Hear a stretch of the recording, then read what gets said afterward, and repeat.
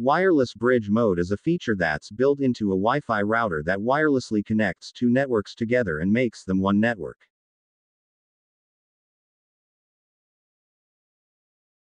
First connect your internet connection to your main router WAN port.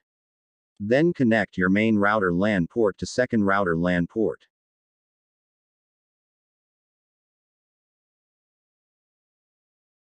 Last step.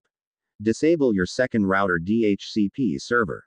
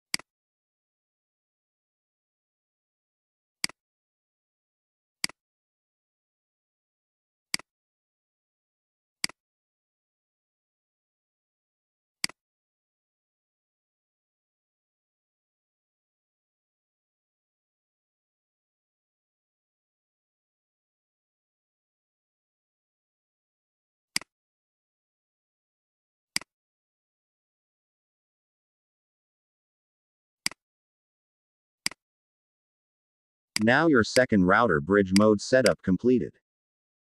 Thanks for watching this video.